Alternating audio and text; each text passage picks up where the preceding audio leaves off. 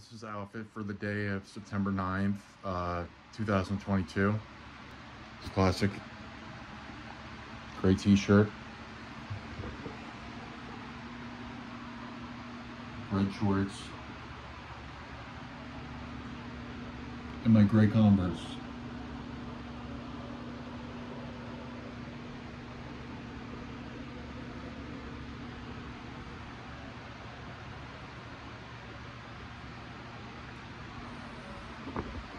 All right, that's outfit for the day of uh, September 9th. For me, uh, what I'm gonna wear on uh, September 9th, uh, 2022.